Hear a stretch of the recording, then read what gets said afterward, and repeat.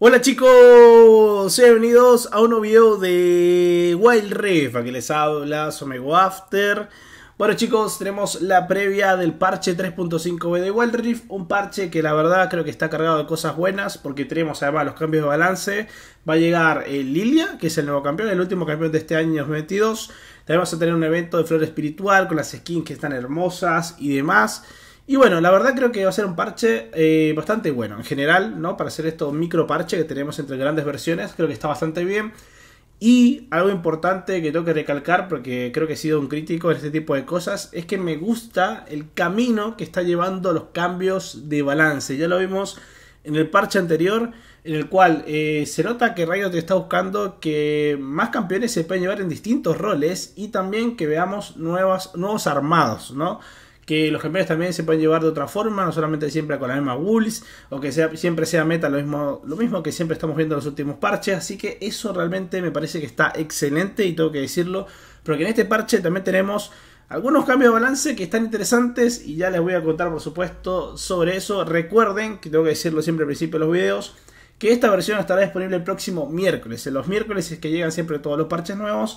Así que ya Riot obviamente el fin de semana saca lo que sería la previa del parche con algunos cambios de balance, algunas cositas. Y yo por supuesto se lo voy a comentar, además de hablar de Lilia y otra cosa, ¿no? Así que bueno, empecemos con los bufeos. Y aquí empezamos con lo que le vengo contando porque tenemos que Doctor Mundo le cae un buff en este parche y eso es algo que se celebra porque es un campeón que realmente estaba escondido, ¿no? Perdido lo que sería el meta y eh, para sorpresa de todos, es un buff a Doctor Mundo Jungla. Claro que sí, el límite de daño a monstruos, por supuesto, de su primera habilidad ha sido aumentado en todos los niveles. Y también tenemos que el enfriamiento de su segunda habilidad también ha sido reducido en todos los niveles. Así que me parece excelente que otro tipo de campeones, como ya lo vimos en el parche pasado, como fue con Shen y con Darius, se pueden llevar a la jungla. Así que en este parche va a ser Doctor Mundo, que tendrá un bufeo y veremos qué tal va a estar también como rol de jungla. Ahora pasamos con Garen, porque sí, Garen ha sido bufeado. No es un campeón que esté, la verdad, nada mal, además es súper fácil de jugar, que es algo muy bueno de él.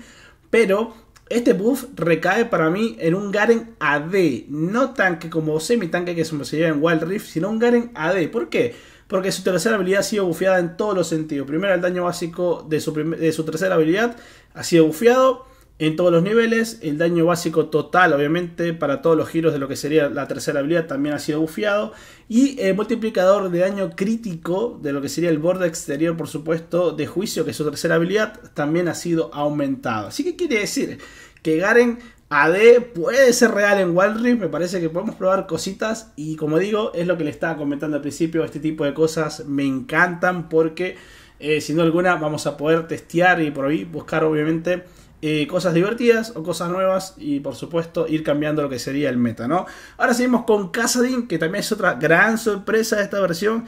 Casadin bufeado, o sea, yo creo que debo estar soñando, ¿no? Esto es, real Riot. Pues sí, eh, ha sido bufeado en este parche. El daño básico de su primera habilidad ha sido aumentado en todos los niveles, un poquito, eso sí, no se emocione tanto. Y el enfriamiento también de su primera habilidad ha sido reducido. Un Kassadin que venía de nerfeo tras nerfeo tras nerfeo, pues finalmente le da un poquito de cariño y amor para este campeón. Además tenemos a Kane, uno de los campeones que fue bufeado bastante realmente en el parche anterior. Aunque, eh, si bien lo vimos, fue un bufeo más a ras realmente, lo que sería su, versión eh, roja. Y el asesino sigue estando ahí bastante mal, honestamente. Así que bueno, ¿qué van a hacer? La pasiva, el daño adicional de la huella de Darkin en la forma de asesino sombrío, por supuesto, ha sido bufeada ahora de 14 hasta 42%. Un buen bufeo realmente para lo que sería el King asesino. Y también tenemos que la segunda habilidad del tiempo de lanzamiento de alcance de cuchilla en forma por supuesto de asesino se va a ver reducido, antes era un 0.55 segundos, ahora será un 0.4, ¿no? Así que bastante bien, eh, no es un mega buff, pero creo que cada vez más vamos a notar un Ken que se va a sentir mucho más, eh, más cómodo y sobre todo creo que es importante en todas sus formas, de la forma en que tú quieras jugarlo, pues va a estar un poco mejor. Así que eso se celebra. También tenemos que a Nunu, ¿no? Nunu, que es un campeón que yo creo que no está nada mal. Es cierto que no tiene tanta popularidad porque lo juegan eh, ciertos jugadores que por eso son más de nicho. Pero yo creo que está bastante bien en general. Pero bueno, Rayo ha decidido bufiarlo. Así que la tasa de por habilidad y de curación, por supuesto, de su primera habilidad ha sido aumentada al 60%, ahora hasta 70%. Tenemos que la tasa de por habilidad de su tercera, de su tercera habilidad por cada bola de nieve que eh, impacta, antes eran 4%, ahora pasa a 5%. Y por supuesto, la, taxa, la tasa máxima de por habilidad de lo que serían las bolas de nieve eh, antes era un 68 hasta 68%, ahora ser 85%. Y tenemos que eh, también lo que sería el escalado por habilidad de su definitiva, eh, sobre todo el escudo, perdón, del escudo de su, de su, definitiva, ahora escala hasta 180%, o sea, antes era 150, así que creo que es un bufeo general, ¿no? O sea, tocan un poquito la primera, un poquito la tercera, un poquito la definitiva, y esto sin duda alguna va a ser a un 1 mucho más potente en esta versión 3.5B. Continuamos con Pantio, ¿no? El panadero, que también le falta un poquito de cariño, se ha perdido también lo que sería la prioridad del meta.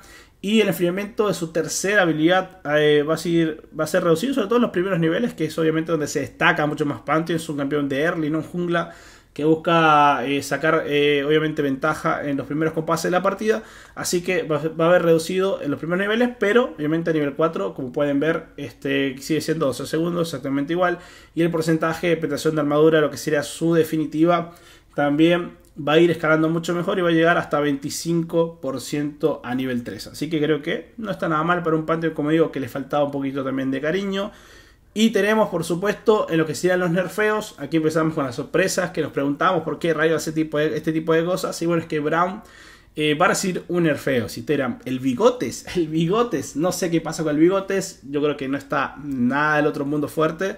Pero el daño de ataque básico se lo bajan a Brown, ¿sí? De 58 a 55. Y la armadura básica se la reducen de 50 a 46, ¿no?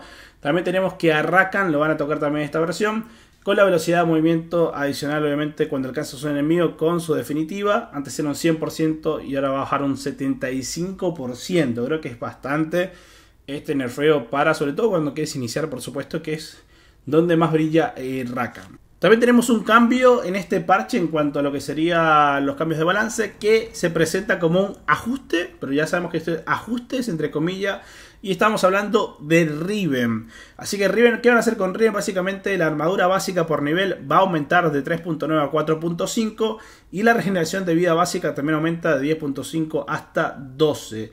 Pero lo que sería la tasa de daño de ataque que recibe el escudo es su tercera habilidad, eh, antes era un 100% y ahora baja hasta un 90%. Así que le reducen un poquito el escudo que obviamente se usa más en combate eh, cuando intercambias y todo esto, pero le aumenta lo que sería lo que sería la armadura, la vida básica, así que yo creo que esto va a impactar un poquito más en lo que sería la Riven de fase de líneas y por supuesto como están esos enfrentamientos en general para resistir y para aguantar en línea.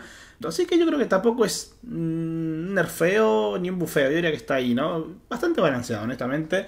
Y también tenemos, para finalizar el tema, tenemos mejoras, mejoras de lo que sería eh, los cambios de jugabilidad. En cuanto a runas, cuidado que dominación, lo que sería el verdugo de gigante, lo van a ofrecer en este parche. Hasta, hasta ahora un 700 de vida adicional aumenta el daño en un 14% más.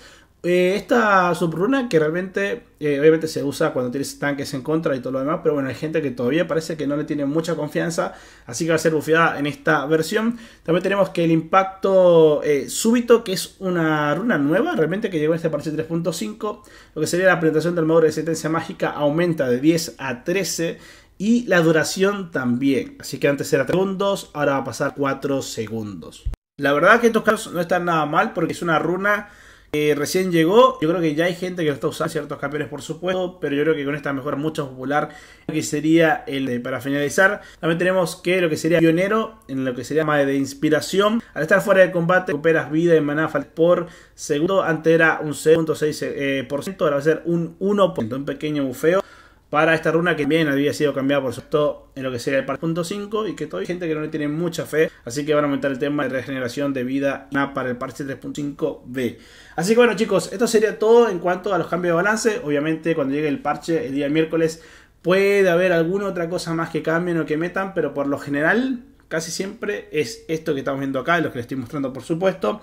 Y para finalizar el video, por supuesto, tengo que decirles que el día miércoles va a llegar Lilia, así que vamos a tener este campeón que ya para cerrar el año 2022, obviamente ya tiene una eh, gameplay en el canal que pueden verla, que la grabé en el PB. Y ya va a estar disponible. Y tenemos un evento que ya mucha gente me ha escrito preguntándome que ya está disponible. Lo que si entras a Wildrift y ves los eventos próximos, se acerca un evento también para el día miércoles. Este evento, ¿cuál es? ¿No? Este evento es de flor espiritual, ¿no? De florecer espiritual que realmente eh, ya fue anunciado lo que sería el diario de desarrollo. Es un evento tipo historia, me recuerda un poco, para reflejarle un poquito la memoria a algunos, es como el que tuvimos de Guardianes Estelares, más o menos de esa dinámica, ¿no? En el cual tienes alguna historia, algo de lore, escritos y demás cosas, ¿no? Vas a poder lograr misiones y avanzar y todo esto.